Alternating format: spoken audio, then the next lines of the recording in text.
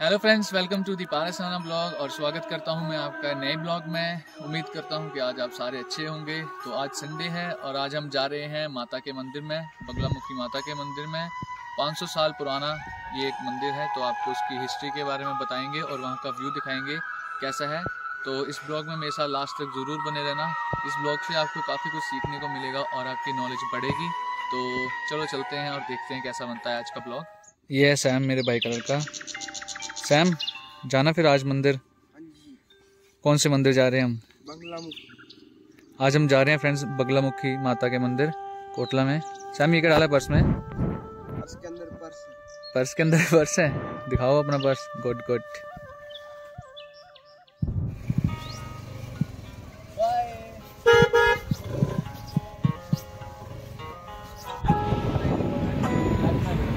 यहाँ पे देखो फोर लाइन का काम लगा है। National highway Pathankot to Mandi ये देखो दिन रात यहाँ पे मशीनें चलती हैं। आगे टनल भी आएगी टनल भी दिखाते हैं आपको। दिखाते हैं आपको। बेस्ट क्रिएशन टनल दिखना शुरू हो रही है। वो देखिए टनल। दो दो टनलें हैं यहाँ पे। एक आधे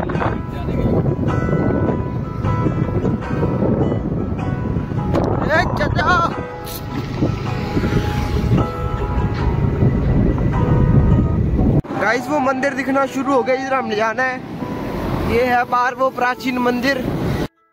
हम पहुँचने वाले हैं माता के मंदिर में यहाँ पे और काफ़ी अच्छी सीनरी देखने को मिलेगी। तो इस वीडियो को बिल्कुल भी स्किप मत करना और इस वीडियो को अच्छे से पूरा देखना। अगर आप स्किप करोगे तो आप अच्छे से मोमेंट्स को मिस कर जाओगे।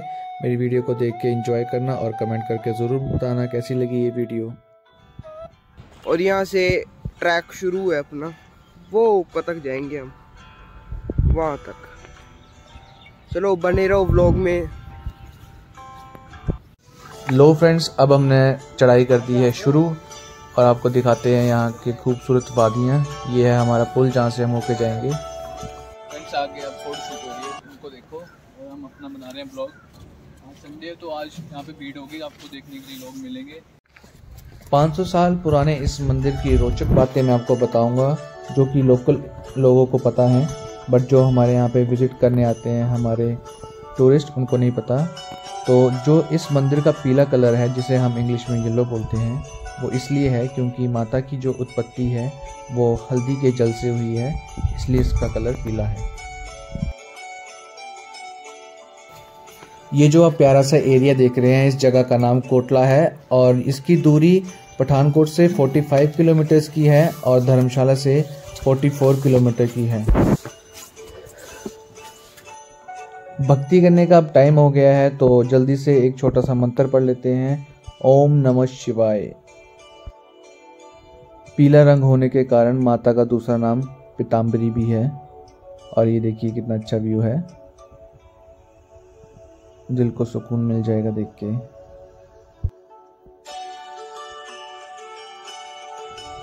माता की उत्पत्ति का मेन कारण ये था कि जो ब्रह्मा जी का ब्रह्मास्त्र है उसे वापस लाने के लिए माता को कार्य सौंपा गया था हम पहुँचने वाले हैं माता के मंदिर।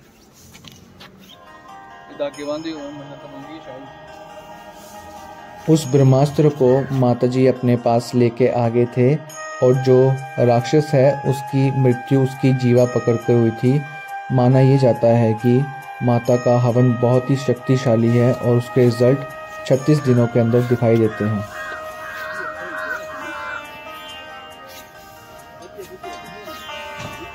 अभी भी अंदर हवन की आवाज़ सुनाई दे रही है।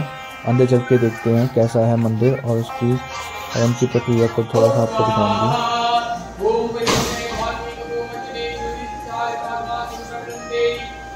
ये है राधा कृष्ण का मंदिर।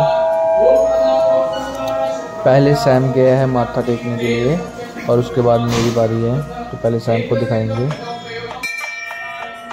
काफ़ी दिनों के बाद मैं मंदिर में आया हूँ और मंदिर आके मुझे अच्छा लग रहा है और अभी माथा टेक के माता से आशीर्वाद लेते हैं और अपनी सुख शांति और परिवार की शांति के लिए प्रार्थना करते हैं।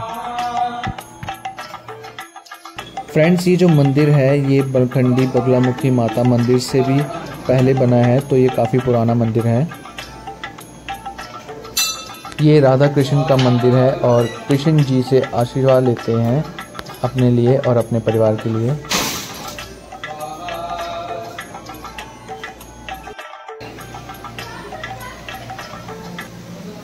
परिक्रमा कर लेते हैं मंदिर की और घूम के देखते हैं मंदिर कैसा है। ये देखिए पूरा पीले रंग का है। ये हमारे शिव जी हैं और कहा जाता है कि जहाँ जहाँ माता बगलामुखी का वास होता है, वहाँ वहाँ शिव जी भी साथ होते हैं, क्योंकि बगलामुखी माता की भी तीसरी आँख होती है।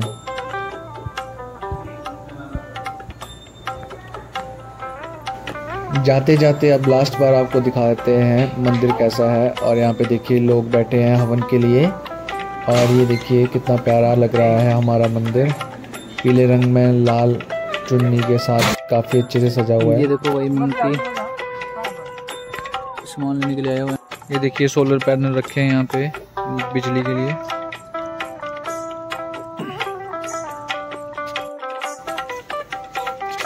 ये देखो, मंकी और उनकी फैमिली तो ये थी बगलामुखी माता की पूरी कहानी।